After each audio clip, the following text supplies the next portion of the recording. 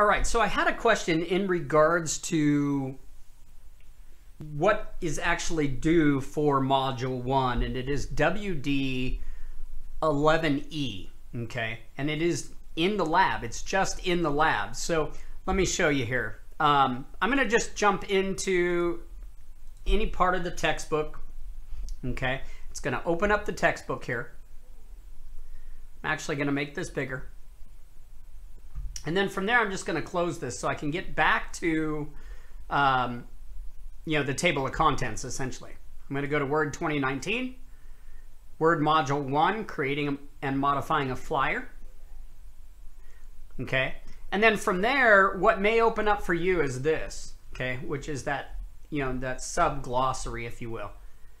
And I'm going to come all the way down to WD1-11E in the lab. At that point, this is what I'm going to complete. So this is a creative assignment. There's specific things you need to put in there, but I'm looking for you to be creative. I'm looking for you to create what would be a very professional looking flyer in regards to park hikers with the information that's required to be in there. Let me know if you have any questions. Take care.